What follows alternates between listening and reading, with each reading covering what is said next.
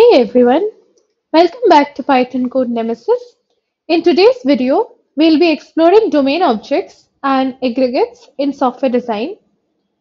In the world of software design, crafting effective and maintainable applications hinges on understanding core concepts like domain objects and aggregates.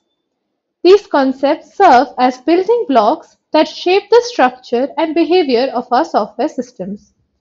In this article, we'll delve into domain-driven design to demystify domain objects and aggregates, exploring their significance, characteristics, and role in designing robust and good software. Domain objects, also known as domain entities, are the heart and soul of domain-driven design. They represent fundamental concepts, entities, or real-world objects within the problem domain your application addresses. These objects encapsulate both data and behavior, reflecting the business rules, constraints, and logic that govern your system's behavior. Some of the characteristics of domain objects include identity. Domain objects possess a distinct identity that differentiates them from other objects. This identity often comes from unique attributes or identifiers. State and behavior. They encapsulate data, along with methods and that manipulate and interact with the data. Invariants. Domain objects maintain invariants, which are conditions or rules that must always hold true to ensure the consistency of the object state. Single responsibility. Each domain object should have a clear and well-defined responsibility, focusing on one aspect of the business domain. Aggregation. Domain objects often collaborate and form aggregates to represent more complex concepts. Exploring aggregates.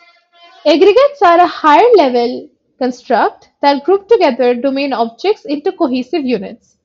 They act as a boundary for ensuring consistency, transactional integrity, and enforcing business rules within a bounded context. Aggregates provide a controlled access point to manipulate certain objects promoting encapsulation and maintaining the integrity of the overall system. Here are some characteristics of aggregates. Root entity. Each aggregate has a root entity that acts as the entry point for accessing and manipulating the aggregate's internal objects. Boundary. Aggregates define clear boundaries for transactional consistency. Changes to the objects within an aggregate are atomic and must be maintained as a whole. Invariance enforcement. Aggregates ensure that the invariants of contained domain objects are preserved and consistent. Isolation.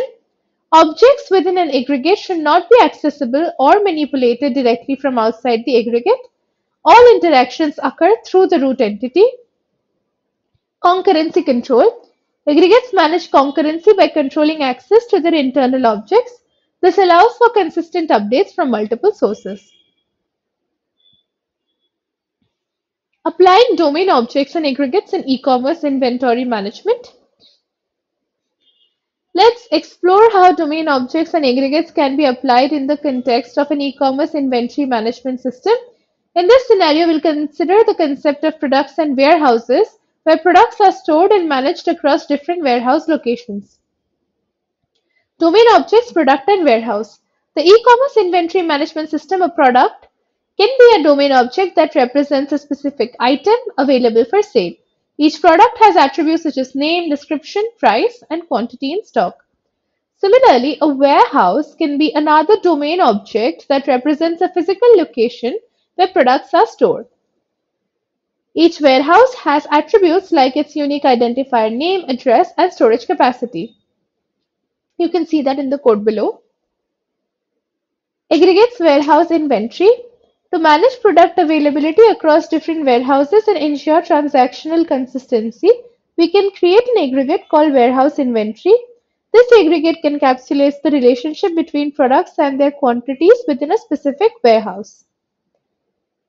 Some of the benefits of domain objects and aggregates for this use case are maintainability. By modeling products and warehouses as domain objects, the code base becomes more aligned with the e-commerce domain, making it easier to understand and maintain. Consistency.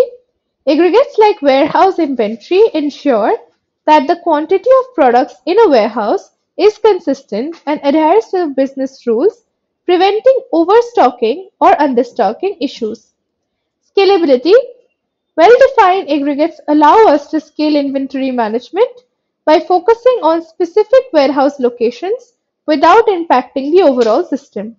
Collaboration Domain objects and aggregates enhance communication between developers and domain experts, ensuring that software accurately represents real-world inventory management scenarios. Flexibility: The clear separation of concerns enables changes to specific parts of the inventory management system without affecting unrelated components. That's it for this video. Feel free to leave feedback or questions in the comments. Thanks for watching. Have a great day.